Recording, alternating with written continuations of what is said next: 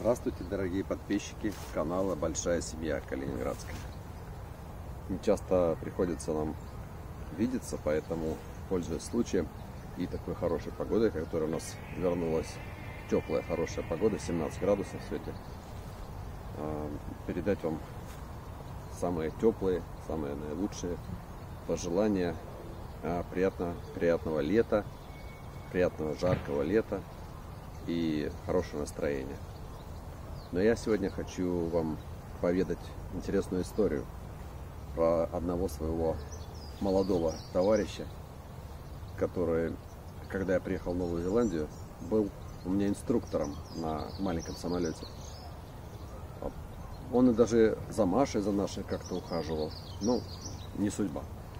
Ну, парень ничем таким выдающимся не обладал до тех пор, пока я не увидел, насколько в нем много э, силы такой интересной к постижению каких-то целей.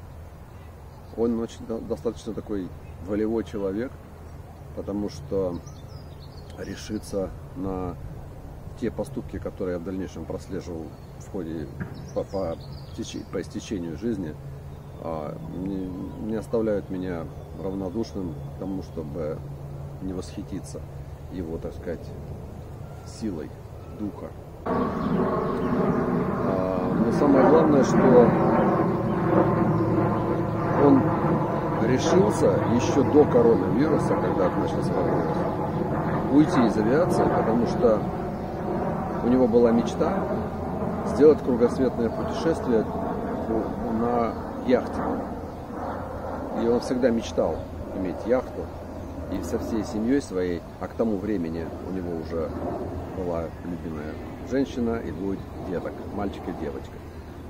И вот э, каким-то образом, ну, видно, собирал деньги долго. Ну, еще у него, правда, э, папа с мамой в свое время бизнес э, имели, они скупали старые квартиры, восстанавливали, ну, дома, я имею в виду, частные дома, покупали, восстанавливали их и продавали. То есть, э, и в принципе, они, по-моему, даже не продавали, а сдавали в аренду. То есть на этом у них, в принципе, нормальное такое состояние.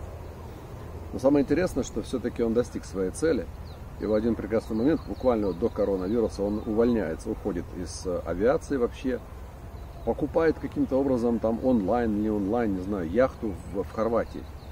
И всей семьей своей летит туда. Оформляет эту яхту.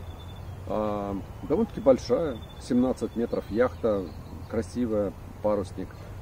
Вот. И, значит, там нужно было оформить документы все и подготовиться к такому путешествию в Новую Зеландию. Это все-таки очень долгий путь, считаю, через весь мир.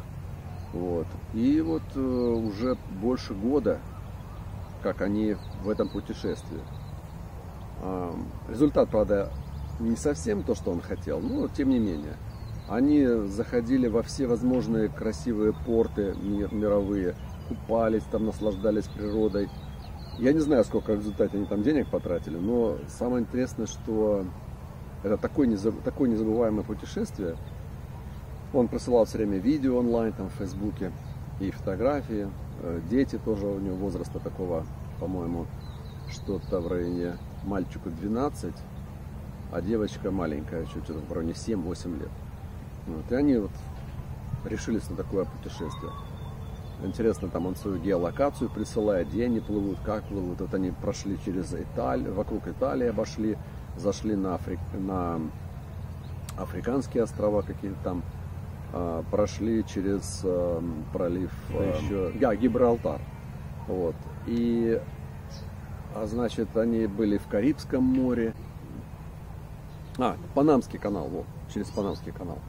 Оказывается, что там возникли э, какие-то э, недоразумения с документами в том плане, что э, только резиденты по какой-то причине, резиденты Панамы могут проходить на таких яхтах. И они вынуждены были продать эту яхту там, ну, наверное, наскоро, не знаю. И э, с каким-то другим, на каком-то другом судне они отправились в Нью-Йорк, посетили Нью-Йорк, изменили свои планы, вот, неделю провели в Нью-Йорке, потом они взяли какой-то корабль опять и поплыли, ну, я имею в виду уже такой пассажирский, и поплыли в, в Лондон. То есть они решили тогда уже завершить, так сказать, свое путешествие, посетив большие, так сказать, города мира. Вот. Ну, в общем, отважный парень. Интересно, чем он будет заниматься, когда приедет в Новую Зеландию.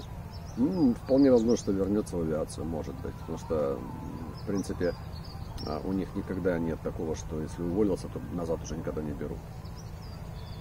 Вот это то, что я хотел рассказать.